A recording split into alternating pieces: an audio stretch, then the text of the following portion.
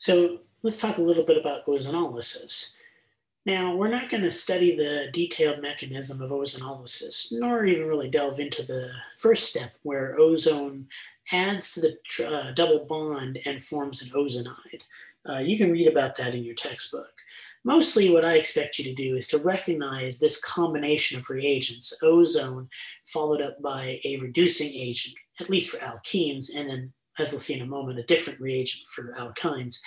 And um, recognize that th what these reagents do is they essentially act like scissors that cut right across the double or triple bond in the case of alkynes.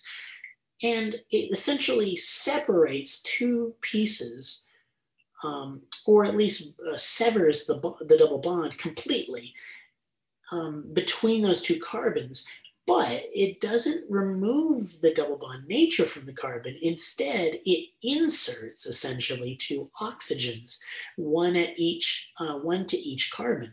So for example, we'll take a look at this uh, problem right here.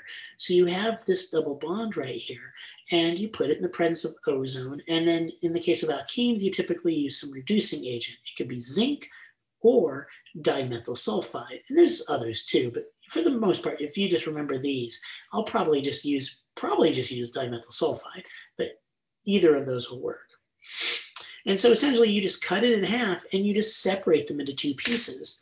You know, and initially, if you look at it, it looks like the same thing. looks like the double bond, but the bond is stretched out.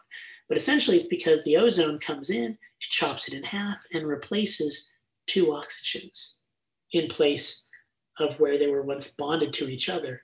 Now, each of these double that were once double bonded carbons, they're still double bonded, but now they're double bonded each to an oxygen atom. Everything else in the molecule remains the same. One, two, three carbons, one, two, three carbons, one, two carbons, one, two carbons. And that's pretty much it for ozonolysis. That is what it does, and you need to be aware of it. For alkynes, there's a slight difference. Um, the main thing is because they're triple bonds, which means you're cutting off, you're cutting across three bonds. You need to still have three bonds, but once again, they're connected to oxygens. Now, in the case of alkenes, you replaced uh, each of the double bond, uh, each side of the double bond that you cut into two pieces with an oxygen atom. For alkynes, you add two oxygen atoms, one of which is a double bonded oxygen, and the other one is a single bonded oxygen with an H added to it. Essentially, you form carboxylic acids. Now, it depends though if you have an internal alkyne or a terminal alkyne. In the case of an internal alkyne where each end of the alkyne has an R group on it, you end up with two carboxylic acids you know, right here I have an example where they're methyls. Let's just reduce it to a generic form. So you've got two different R groups there. Then you end up with two carboxylic acids, one with an R group and one with the R prime group. For terminal alkynes, you essentially get the same thing for the side that has an R group on it. Here you take a cyclohexane with, uh, that's connected to a alkyne, you end up with that same cyclohexane, but that carbon right here, this carbon right here, it ends up as a carboxylic acid, but this carbon right here ends up as CO2. So it ends up as C double bond O, C double bond O, which is CO2, carbon dioxide. Once again, it is a temptation for the student mind to say, I don't get it because I don't know how it happened. I don't know how it happened. If you mean mechanistically, I don't know the mechanism for this myself because you know I'm a, technically a physical uh, physical chemist, um, but I've also been trained in organic, but mostly for sophomore organic and teaching sophomore organic. So I haven't really delved into the deeper mechanisms of more advanced reactions. So for sophomore organic, we never really learned the detailed mechanism of how or and you know how this carbon ends up with uh, two oxygens that are double bonded to it. But it does have to do with, if you think about it, you can't have, you couldn't, you can't have a molecule that has a single bonded oxygen with an OH on it and then an H. There's no molecule that's known to be like that structure. So, in the end, that is what you get. if it's a terminal alkyne, you get carbon dioxide and a carboxylic acid that has the same R group as the alkyne. And if it's an internal alkyne, you get two carboxylic acids, each with the R groups that were part uh, that were on the two sides of the alkyne. And then another special property of ozonolysis is if you have multiple bonds, it reacts with all of them. Now, maybe that's a hindrance too, but it's something to be aware of. So every double bond in the molecule will undergo the oz uh, ozonolysis scissors, quote unquote. And so in this case, the way you figure out the products then is you, you know, imagine that you're cutting both of them. And so the products are going to be this piece right here, which is now going to just redraw the part that's on this side of the double bond. So it would look like this.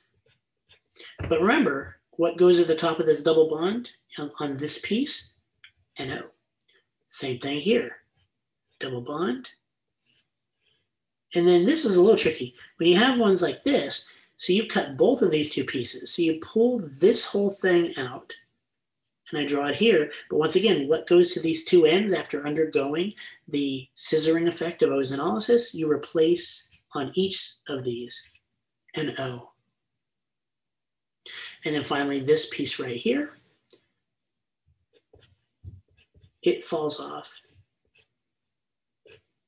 like this. And once again, NO.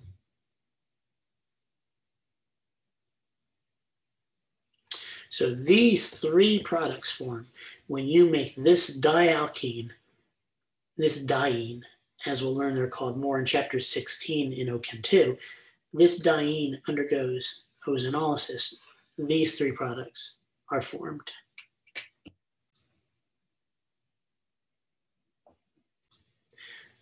The last thing I want to talk about before getting into retrosynthesis is I want to remind you about some of the reductions you should have been watching, you watched or learned about in the previous video as well as in your reading of alkynes, the reductions of alkynes. First of all, you got the full reduction, and it's very similar to the reduction of an alkene. You have hydrogen gas in the presence of a metal catalyst. And in the case of just a pure metal catalyst, plat platinum, palladium, nickel, etc., um, you what you essentially do is you completely reduce it. You don't stop at the alkene. It does technically form first, the alkene that you would imagine, but it quickly itself, because that is what alkenes do in the presence of hydrogen gas and a uh, uh, metal catalyst, it further undergoes reduction and forms um, this fully uh, reduced, the triple bond is completely gone, and you replaced it with four hydrogens. Now, what about what if you want to stop at the alkene? So is there a way to do that with a just with hydrogen gas and a catalytic metal? There is, but what you have to do is you have to poison the metal catalyst. And we'll talk a little bit about the poisoning of the metal catalyst in lecture. But essentially what happens is you find a catalyst that's a poisoned one. And one of the most common ones, most famous of all, is Lindlar's catalyst. I don't expect you to know memorize or even look up and identify what Lindlar's catalyst is. Most organic chemists just put Lindlar's, can, uh, catalyst here. Um, but it is a certain mixture of palladium and some other compounds uh, mixed together. And that acts as a, as a poison catalyst. And like I said, we'll talk more about what that means uh, kinetically and the reaction diagram and so forth, uh, and why we get the product we do or I should say why we stop at the product we do uh, in lecture. But the essential result is you don't further oxid, uh, excuse me, you don't further reduce the double bond. And so you stop at the alkene. And in the case of, a, of, of the Lindlar's catalyst, because you're, you're transforming the alkyne into the alkene using a metal catalyst on a solid surface, very similar to what we talked about in alkene reductions, when you use a metal catalyst, the H's add to the same side. You know, when we talked about uh, reducing an alkene with a metal catalyst, we, we pointed out that they added syn. Now, we don't really talk about syn or anti here because we're stopping at a double bond. What we do is we essentially added them cis. we formed the cis alkyne. Um, oops, that's not alkyne, it should be alkene, excuse me. We formed the cis alkene.